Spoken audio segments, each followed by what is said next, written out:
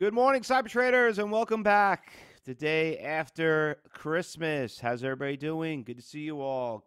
Good morning, Grant. Good morning, everybody. Wayne, everybody. Lita, good to see you. All right, beautiful. Neil, everyone. Perfect.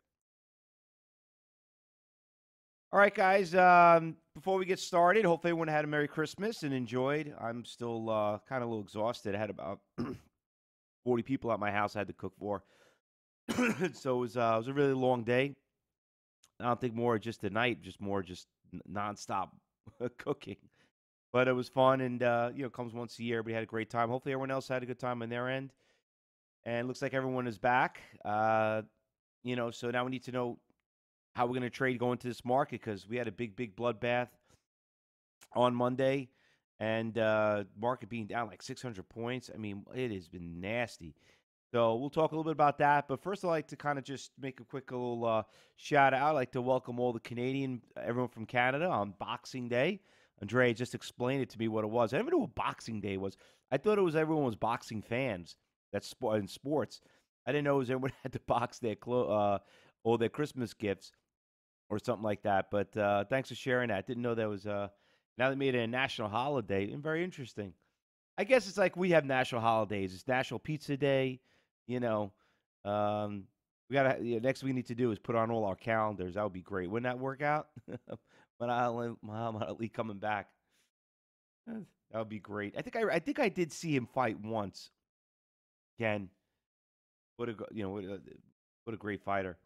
But anyway, um, wish you guys all luck on Boxing Day. In the meantime, about what's going on. sorry, I got something stuck in my throat. What's going on this morning? You know, market's up a little bit listen, regarding about what's happening in the market, uh, I'm taking I'm taking a little bit of a hit on my swing trades. Thank God we're all in cash uh, as day traders.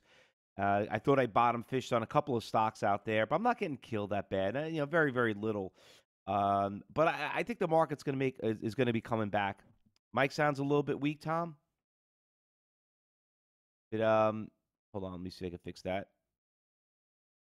Testing.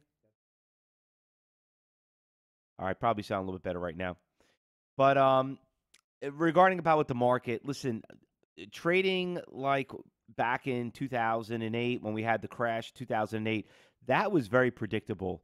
You know they were giving mortgages to people um, that that really couldn't afford them. If you if you want to learn more about it they made a movie about it so, you know, The Big Short, I always tell everyone greatest movie ever. You got to watch it like two, three times to really, really get it because I kind of put a lot into one movie, uh, all these uh, metaphors that they use. But a uh, great, great movie. And, you know, what's going on in this market, I'll be honest with you, I really don't see, you know, having, they just announced that we spent more money uh, during the Christmas holidays in history. Uh, we have basically great uh, growth. Uh, blue collar workers are a shortage. I mean, it, it's not like people are unemployed. They're yeah, they're raising interest rates, you know, and I get it why they're raising interest rates is because they're trying to, you know, as a security blanket, you know, you have a good market, you got to raise it. Maybe they raise them a little too fast uh, and too much too quickly, which I probably would agree. But other than that, I mean, listen, there's gonna be some great buying opportunities, so don't panic regarding about the market. Yeah, granted, we we gave back about two two years of of a jump, but you know, but on that Dow, you know, listen, it, you wish you could have bought them two years ago. Well, now here's your opportunity. So just sit back and just wait. Yeah, they are killing. You know, the, the market. You know, listen. Everyone's trying to say it could be the tariffs, could be this, could be that. It, it, it's the it's the you know the market being shut down, but eh, the market will come back. It will come back. It's just trying to you know get that bottom. But I, I for me personally, been doing this for 25 years. I don't see anything that is really making it that a, more of a catastrophe as a crash. Like people, like at dinner, everyone was asking me at work, uh, at, at, dinner, I'm sorry, uh, yesterday, the same Fausto, we're going to a recession. I'll be, I'll be honest, I'm not an analyst, but I, I mean, I don't see anything that's pointing to it, you know? So keep an eye on that. Now, regarding about uh, what's trading this morning, listen, you know, the day after Christmas, and I told you this um, going back into the summertime, and I keep reminding you every single morning. We are finally here. And what I mean by that is that this is the slowest time of the year. All right. Uh, the, the, I mean, it's so hard to predict. As much as I say historically it is, it hasn't been that. It hasn't been that quiet regarding about what happened on Monday and, and the day before that. I mean, we had the biggest correction in one month in history, worst market movement in in uh, Christmas Christmas history. So I mean, in the market's up a little bit. You could see a lot of people are are took off, which is okay. You know, listen, the big thing about taking off is I just want to tell everybody to tell everyone this. And I know we have with all this technology, just be in cash. And if you're gonna go on vacation, whatever, just make sure you're in cash. You know, if you unless you could be focused and be there, you know, if you were running around shopping on on Monday, and then you know, and, and all of a sudden you get back and like, oh, the market's not that bad, it's down 100 points, and then all of a sudden you're down 600. You know, it's like, what the hell happened?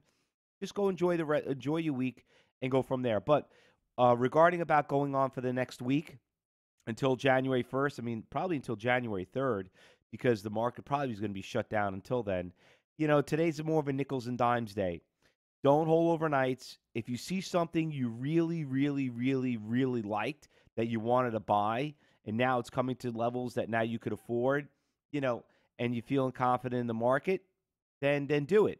Uh, but um, but don't be don't be scared. You got to trade. And listen, if if you got to a point where you lost more than you expected, then get out. You can just buy it back cheaper. That's just the way it goes.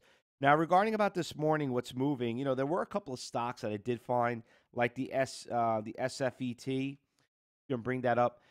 Out of all the stocks, I probably thought that one was pretty the most interesting stock that had some good move. I mean, stock took a big hit long term, and it's the only one that's got a nice little Fausto flag right here. You could see, uh, just broke a little higher high.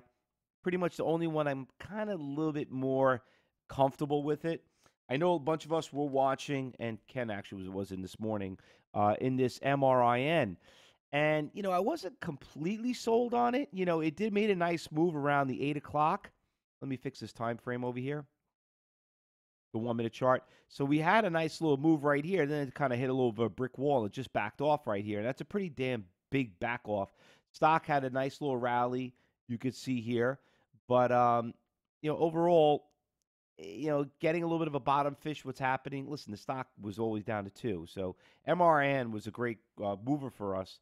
But be very careful of that. You know, I hate chasing stocks after these big runs. Roku, that one's making a pretty decent move, a little bit more uh, of a brand name stock, but uh, this stock does move.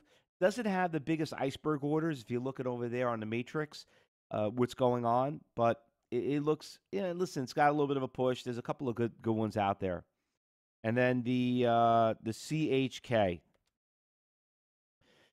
Now, CHK, this one here has got a little bit of a nicer move. It's got a little bit of a trend. It's a cheap stock, level one stock. Everyone could trade it. If you're an advanced stock, the good thing about this one, you could trade thousands of shares of it. You could trade 5,000, 10,000, and you know you can get in and out of it. Just look at the uh, the matrix over there on the right. You can see you got a lot of iceberg orders on all the ECNs. Now, that's pretty much all I found. I mean, when you look over here, uh, uh, on the big active gainers and losers. I mean, you got the ETFs. I don't need to go through those. I know some of us were looking at the MBEV. That one's starting to make a little bit of move. I'll put that one on the watch list. I, I wasn't too impressed about it. But now looking at it, looks like she's starting to make a little bit of a move. But all the ETFs are doing pretty well. All right, guys. Anything I'm missing um, that I did not call out? Grant says, "What about the J nut? J N U G? Get a little Fausto flag on that. Uh, it's kind of flat, you know, like right here. You could see it right there. I don't know. Don't really see as much of a flag on that one, Grant. Kind of flat. All right. All right, guys. So uh, listen, it's a very light day. The market's up a little bit. Um, I'm not completely sold on going swing until we get like three, four, five, three to four positive days. But when you're dealing with a market like what's happening right now in the middle of the year, uh, a lot of people don't like to be getting into any positions probably till January. So just kind of deal with the nickels and dimes, you know, being here. But it's a great time to learn. It's a great time to see what it's like uh, on a de- uh, on these type of markets. And hell, we never know. You know, we we never know what could happen. No one predicted that we would have this big of a correction in December. This is the first time in history, so you learn something new. Just, uh, but I can tell you this: learning is what makes you a better trader. And it's very rare to be in opportunities like we're in, like what happened these past couple of weeks. So just look, listen, and learn. Be prepared. But there are going to be some great opportunities out there for a lot of us to make some big money out there. So just be very patient. All right. We just need consistency of trend. All right, guys. So with that said, um, Josh is going to be off today. Uh, Eric will be working in the room, including myself and some of the other staff. So listen, it's a time of uh, to, to sit back and enjoy and wait for the new year. So don't get too crazy. All right, guys. Good luck today. Happy trading.